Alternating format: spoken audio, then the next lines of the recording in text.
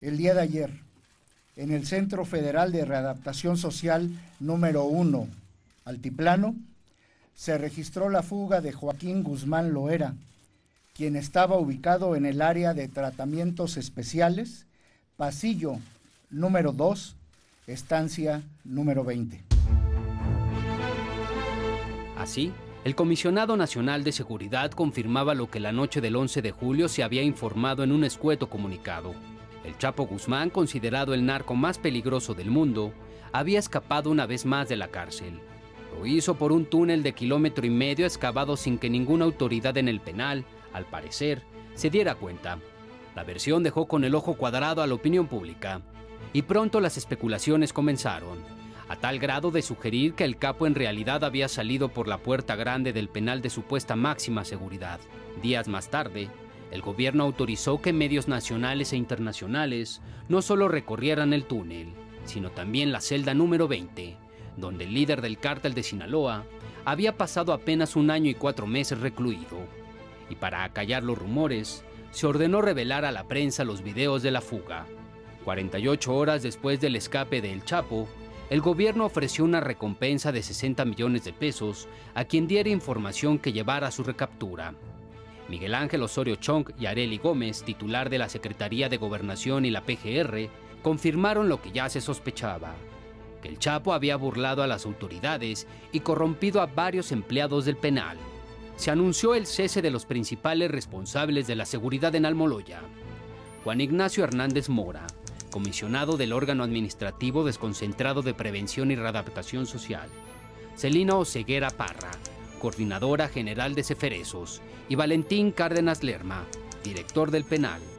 49 personas ya habían declarado y 34 más estaban retenidas en la Ceido, entre ellas dos abogados del Chapo y Calixto Estrada Castillo, el hombre que en mayo de 2014 vendió el predio donde terminaba el túnel por donde éste se había escapado. Mientras, las imágenes de los funcionarios inspeccionando el penal, el túnel y la casa en obra negra le dieron vuelta al mundo. La información del despliegue policial y los cateos a viviendas en Mazatlán y Cuernavaca servían para llenar las páginas de los diarios. El 14 de julio, la agencia de noticias AP, en Estados Unidos, afirmaba que la agencia antidrogas de ese país había reportado que el Chapo tenía varios planes de escape y que las autoridades mexicanas no habían hecho caso. Pero Osorio Chong lo negó. El mismo día, tras largos interrogatorios, varios de los sospechosos retenidos en la Ceido eran liberados. Las bajas continuaban, pero no había información nueva del caso. El siguiente en perder el cargo fue Ramón Eduardo Pequeño, jefe de división de inteligencia de la Policía Federal. Pero de los funcionarios que presuntamente ayudaron a Guzmán Loera, no había nada. El 17 de julio, la PGR decidió ejercer acción penal contra siete empleados de Almoloya. Juan Ignacio 40 Orozco, supervisor de vigilancia, los custodios Carlos Sánchez García, José Daniel Aureoles Tavares y Esteban Estrada Ramírez, y los encargados del monitoreo de la celda, el jefe de departamento de la Policía Federal Vicente Flores Hernández, el suboficial de la División de Inteligencia del Centro de Investigación y Seguridad Nacional, Luis Alberto Aguilar Morales, y un sargento de la misma dependencia, Emanuel Galicia Conchillos. Pero el 24 de julio las cosas dieron un giro. De los siete presuntos implicados, solo tres, el encargado del centro de monitoreo y dos custodios, serían encarcelados y los demás fueron liberados. Con el paso de los días y los nulos resultados en la cacería de El Chapo, el tema fue pasando a segundo plano.